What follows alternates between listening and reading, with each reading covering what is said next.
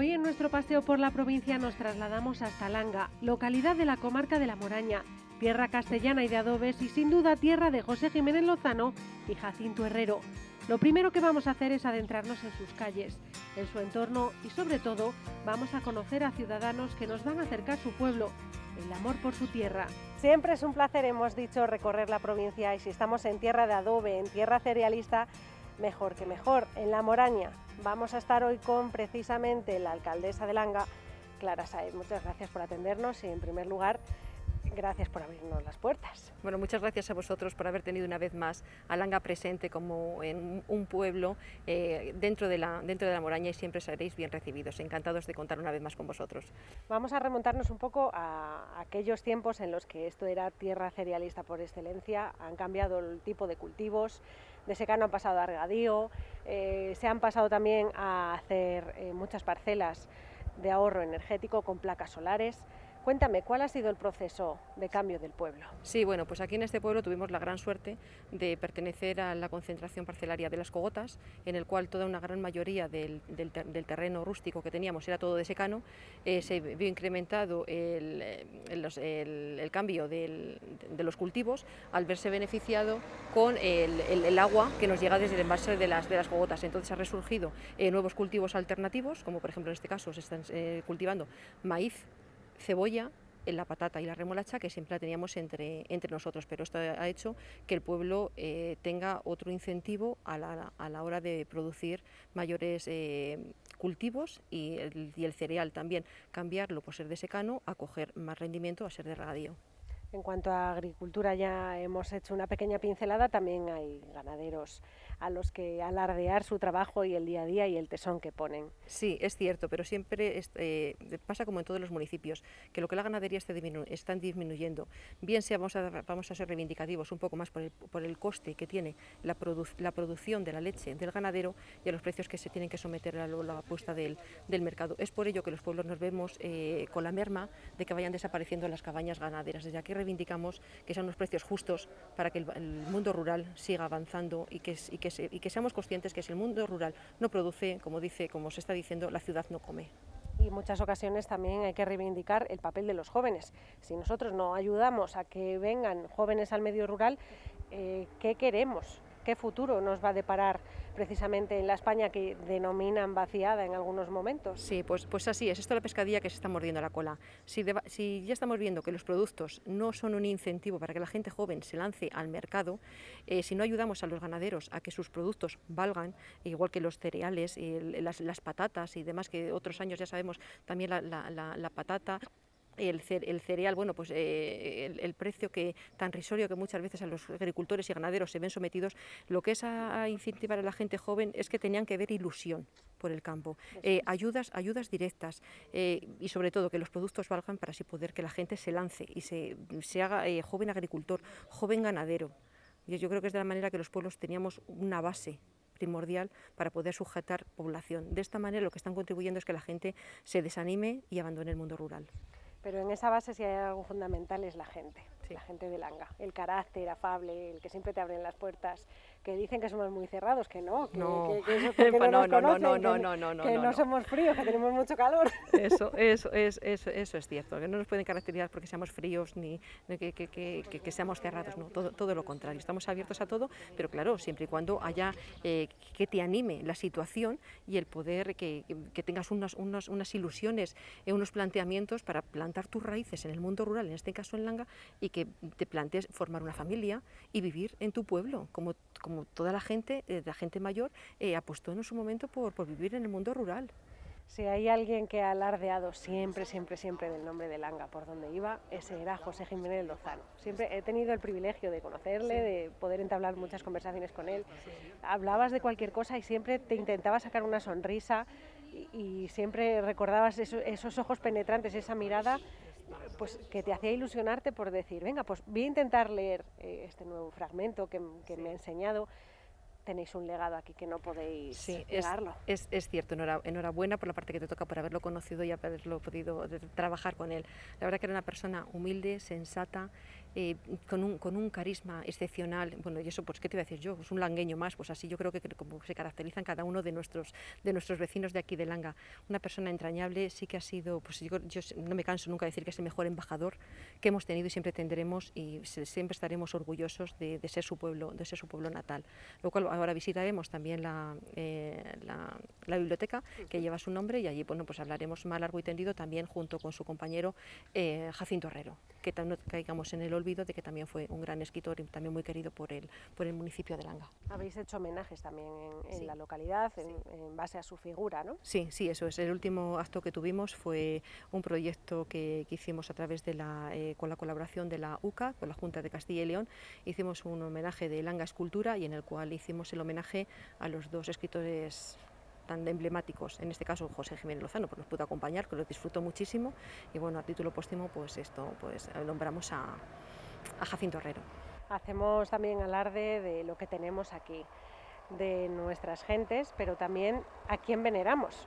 San Roque acaba de suceder, han sido unas fiestas un poco particulares, por no sí. decir inexistentes en muchos casos, sí, sí. pero tenemos mucho que agradecer y que pedir a San Roque y a Nuestra Señora de la Asunción. Así, así es, y antes le teníamos muchísima devoción, bueno, pues ahora yo creo que ha cogido, incluso los más niños han visto lo que es la figura del santo, de, del patrón de San Roque, un santo, bueno, que por todos es dado, que ha sido el, el, el curandero de las, de las pandemias y de las pestes.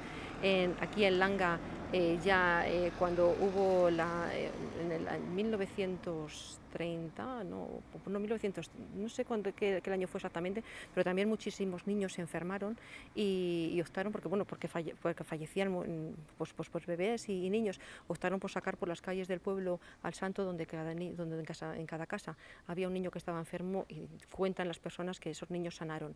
Entonces, bueno, pues esto parece que ha sido un poco repetitivo a la hora de que nos ha venido esta pandemia, nos hemos involucrado muchísimo en la, devoción. Si la teníamos antes, pues imagínate ahora, se ha multiplicado o no quintuplicado, no sé, qué, por qué cifra habría que hacer el porcentaje. Y, sí, han sido unas fechas un poco, las, las, fechas que hemos pasado, pues sí ha sido un poco que no hemos podido hacer nada dada la situación y por las normas sanitarias hay que cuidar muchísimo a toda la gente y entre ello había que aportar un poquito de cada uno para ser responsables y poderlo disfrutar todos juntos y no nos quedemos a nadie atrás que no se quede nadie atrás es fundamental, claro está, pero también hay que poner una chispa un poco de alegría a la vida. Sí, sí. Hay que intentar la, la vida que sigue, vengan claro. Sí, sí, sí, sí, sí. Y que tienen sitios a los que acudir. Sí, eso, Por ejemplo, es, eso piscina. es cierto. Sí, sí, ahora iremos a ver la, la, la, piscina municipal, en lo cual, bueno, creo que ha sido una de las mejores cosas que se hizo aquí en el pueblo, eh, que le da un buen patrimonio para las, el tiempo estival, eh, es donde pues, se disfruta y se pasa el rato de ocio, pequeños, grandes, niños y, bueno, pues, pues todo. Vamos a ir a un merendero, al manantial, mejor que se queden con nosotros y que lo comprueben. ¿no? Eso es, que lo vayamos viendo paso a paso. Vamos a ir poco a poco recorriendo Langa, quédense con nosotros. Este es el Paseo de San José, sin duda muchos son los ciudadanos que pasean por él y que pasan largas horas en todas las épocas del año. El Pradillo es otro de los lugares emblemáticos y tampoco pueden faltar instalaciones como estas, las del frontón. Pero sin duda una parada obligada en Langa es sin duda la biblioteca. Allá guardan obras de dos vecinos ilustres como ya les hemos contado, José Jiménez Lozano y Jacinto Herrero. José Jiménez Lozano quizás sea la figura literaria más grande que tenemos en Langa. Fue premio, eh, premio Cervantes en, en 2002 pero no solamente él, sino otra gran figura que fue Jacinto Herrero Esteban, un gran poeta que también nació aquí en Langa y que fue coetano de don José, de don José Jiménez Lozano. José Jiménez Lozano, del cual tenemos aquí una representación en busto, realizado también por el, artista abulense eh, don Manuel Aznar, como tenemos aquí. Nació en Langa, su padre vino aquí a trabajar de, de, secretario y él siempre ha dejado muy claro que Langa fue su cuna, que Langa fue su lugar de nacimiento y es el origen del hilo Ariadna que tiró toda su vida de él. De hecho, él ha declarado más de una vez que el lenguaje que adquirió aquí en Langa, no de su familia, sino de la gente del pueblo y en casos concretos ha hablado de la, gente que tenían de servicio en casa, ha sido el lenguaje que más le caló, que más le marcó porque era un lenguaje originario, era un lenguaje castellano que no había evolucionado, sino que se permanecía en los orígenes. De hecho, hablaba que en muchos casos le daba la impresión de que esa gente había leído el Quijote por las formas que tenía de hablar, por las expresiones que utilizaba, por el vocabulario, ¿no? que era un, un castellano muy original. Durante su infancia, él vivió la guerra civil de la que apenas se acuerda y los años de posguerra, de los que guarda algunos recuerdos fugaces, memoranzas, que él utiliza como reflejos, utiliza como, como, influencias que luego desarrolla en su obra en diferentes aspectos, sea en la poesía, en la novela o en el ensayo. Ya en la adolescencia marchó a estudiar el bachillerato primero en Ávila y luego en Valladolid, donde estudió primero Derecho, curiosamente, ¿no? para luego ser la figura literaria que llegó a ser, aunque inmediatamente empezó también los estudios de, de Filosofía y Letras.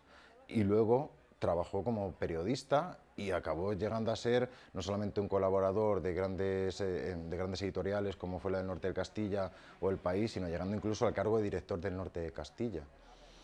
Lo demás de su obra ya conocemos, incluye todo tipo de obras, principalmente la novela, el ensayo y la poesía, aunque a mí personalmente creo que lo que más la caracteriza, lo que más nos habla de él y en lo que mayor profundidad adquirió fue probablemente en el cuento. ¿vale? El cuento resulta muy llamativo ¿no? porque son historias muy cortas, en cada una de las cuales él recoge un acontecimiento, recoge un hecho, recoge un personaje, profundiza en una psicología, en un aspecto de la vivencia humana y lo deja muy claro y deja siempre pie da pie a una reflexión personal, a una búsqueda y siempre también te hace no sé, te hace una llamada al interior de una vivencia personal tuya. ¿no? Por eso creo que en, eh, toda la obra literaria de Jiménez Lozano, quizá donde mayor maestría haya alcanzado sea precisamente en este tipo de, acto literario que fue el cuento. Ha sido reconocido más bien en minorías, pero esos reconocimientos han sido también muy importantes. Por supuesto, en el Ayuntamiento de Langa, en múltiples ocasiones, se ha venido, ha participado durante muchísimos años, año tras año, ha estado mandando un pequeño relato, una pequeña reflexión para que publicáramos en el libro de fiestas, que alcanzaba a todos los vecinos. En Ávila ha sido reconocido como hijo adoptivo. La Fundación Duque de Alba ha financiado estudios sobre su obra y ha tratado de que se diera visibilidad a su figura. Por supuesto, en Valladolid.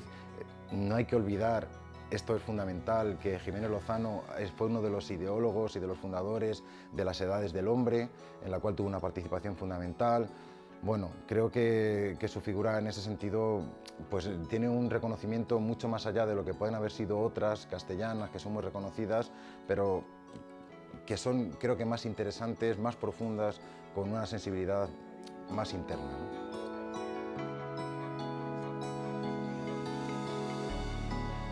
Qué lugar los que habré vivido quedará la memoria cuando no muera, si no es en ti, que no eres sino en sueño?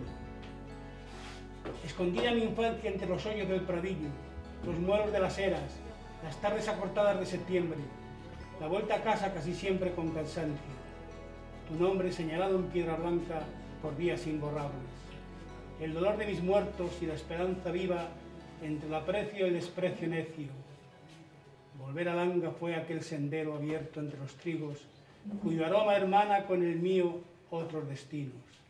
Jacinto Herrero Esteban, 1931-2011. Jacinto Herrero es que es una psicología y es una escritura y es una, reflexión completamente diferente. ¿no? Son coetáneos, ambos nacieron y se criaron juntos, estudiaron juntos, llevaron más o menos un itinerario vital muy similar, paralelo. Sin embargo, eh, como sabemos, eh, Jacinto Herrero decantó sus pasos, aunque fue un gran literario, decantó sus pasos más a, la vivencia de la religión, ¿no? Se ordenó sacerdote y luego, a la vez que era sacerdote, también trabajó como profesor de literatura en el Colegio Diocesano de Ávila.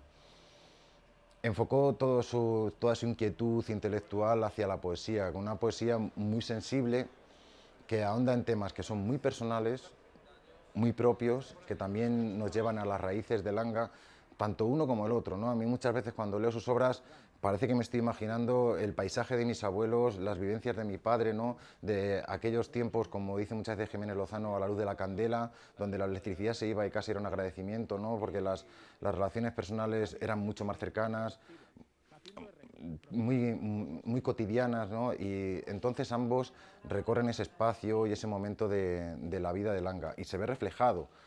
Hablan de las calles, hablan de los rincones, hablan de los oficios, hablan de las inquietudes y, y de un espíritu castellano, también vinculado en muchos casos a la espiritualidad, ¿no?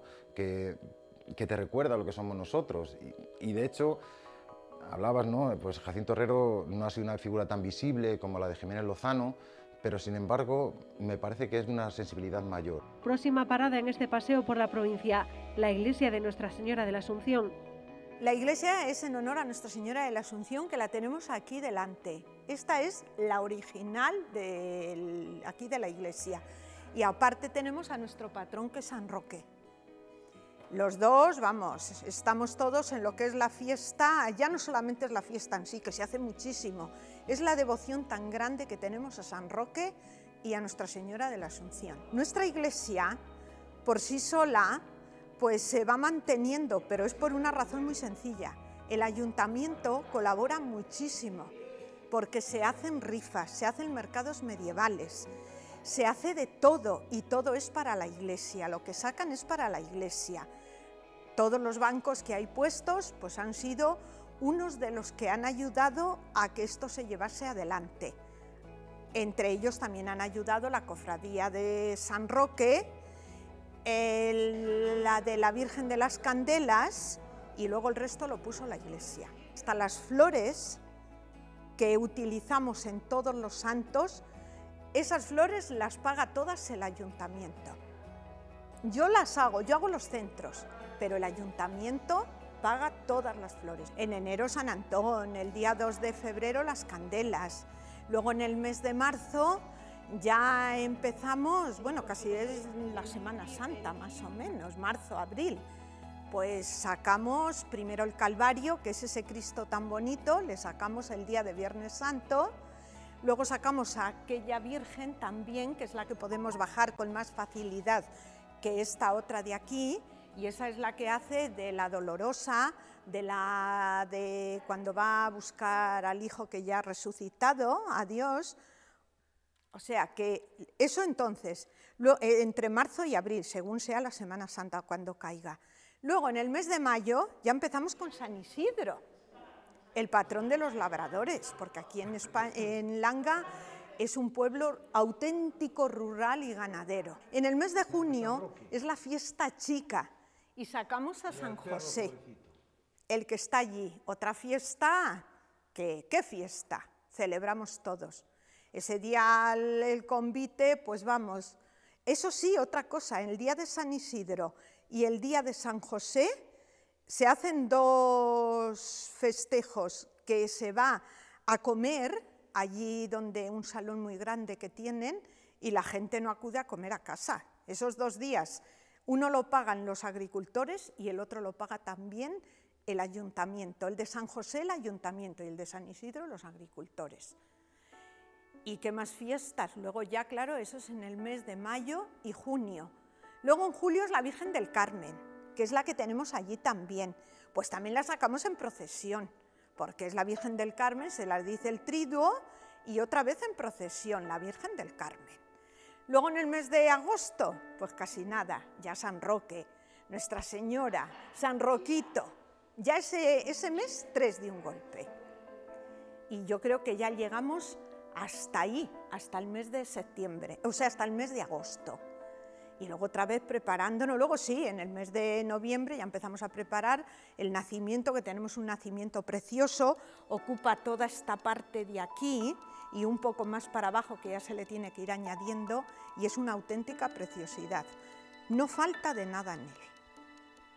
Son piezas originales, muy bonitas y ya claro, cuando llega a Navidades, pues ya lo tenemos ya tenemos otra cosa hecha y viene mucha gente a verlo, a los niños, claro, los ven que tiene movimiento las piezas y todo.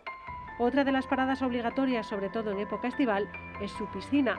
Ahora en tiempos de pandemia se ha limitado el aforo y las medidas sanitarias han sido estrictas, siempre en beneficio de los lugareños y de los visitantes. Hay dos vasos, en este hay 75 personas y en este 25. Creo que son 25, 25 metros de largo y ahí son 1,20 y ahí creo que ronda el 1,90. Me enseñaron ahí a, cómo acudir al agua, cómo sacarlo del agua, ponerlo si tenía que hacer una RCP o, o cosas de esas, ¿sabes? Deberían ir acompañados normalmente un adulto porque aquí ahora mismo, pues bueno, hay poca gente, pero los sábados y estos así días que ha hecho más calor, pues sí que ha habido bastantes niños y yo no puedo estar pendiente de todos, pero normalmente no suele pasar nada.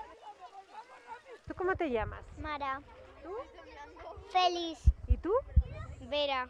A ver, contadme qué estáis haciendo hoy aquí en la piscina. ¿Os, os tiráis, hacéis volteretas? ¿Qué hacéis? Pues jugar y estar en la piscina.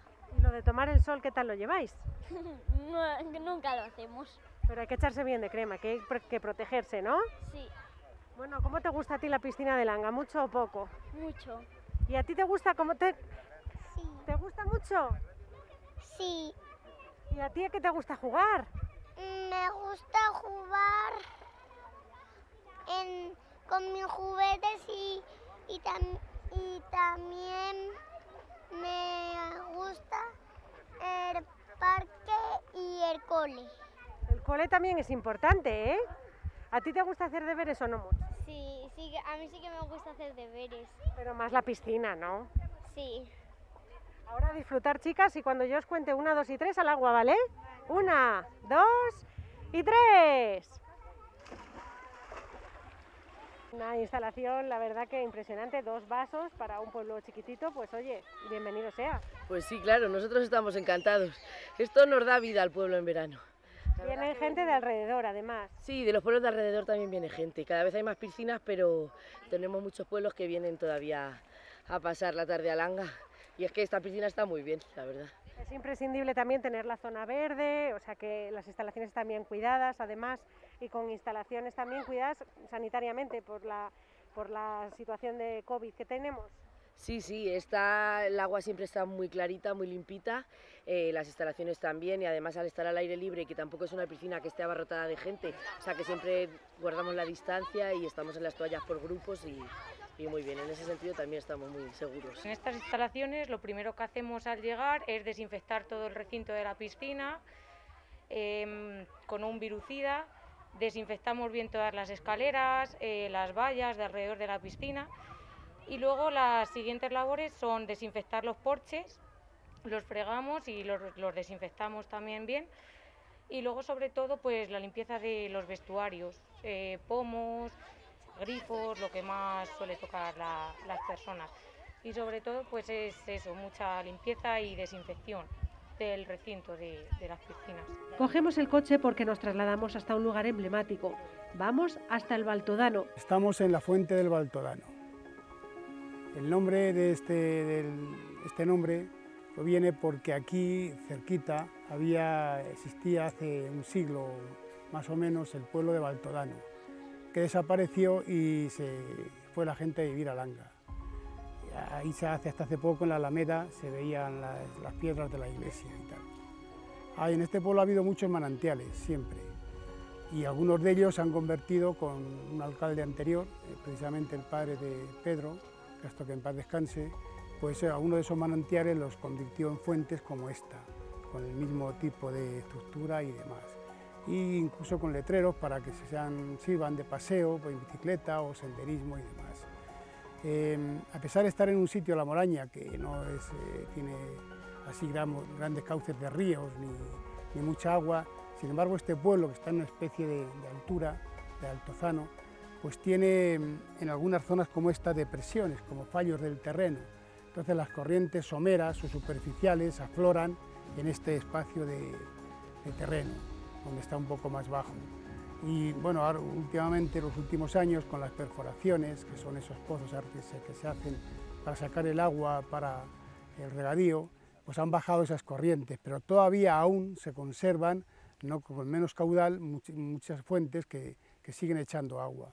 Pero vamos, fuentes, los viejos hablaban de, de- de- de decenas de fuentes por todo el término, que hacían regatos o se escarbaba un poquito y salían. Ahí mismo, cerquita tenemos otro, la fuente de San Juan, y cerca en la laguna, en, la laguna de la Torre que se llama, también otra que todavía sale algo de agua. Antes había aquí, la fuente no estaba bien encauzada y salía el agua por diversas partes, por el conducto que estaba para la fuente y alrededor, y alrededor había una especie de arenas movedizas o trampal, y ahí se decía, la leyenda es, que unos que venían siendo perseguidos por la Guardia Civil a caballo, eh, que lo conocían, se metieron por ahí, lo bordearon un poquito y los caballos que los perseguían y los hombres que iban subidos sobre ellos, pues se hundieron, pero vamos, era, se movía mucho, de pequeño nos poníamos ahí, jugábamos, siempre con miedo porque estaba la leyenda esa, pero vamos, no era, era un trocito pequeño, no era gran cosa. Se llama el merendero y la gente viene aquí a pasear, a, comer algo, de verdad que en verano hace muy bueno. Aquí casi siempre, yo he venido, yo los veranos venía porque yo no vivo aquí en Langa, pero vengo mucho. Y yo venía mucho aquí a tomarme, a merendar y siempre, siempre hay aire. Aunque fuera no se mueva, el, no haya nada de, aire, aquí siempre se ve, se nota, bueno, es que los árboles, las hojas lo dicen, siempre hace muy, muy bueno, muy fresco. No puede faltar tampoco un recordatorio a sus fuentes dignas de mención, como esta fuente vieja. Esta es la fuente vieja. Esa también está, es, es como habéis visto, en, en, dentro del Anga, en la zona más baja. Pues igual, las corrientes superficiales salían por allí. Aquella era la fuente donde todo el mundo tomaba el agua.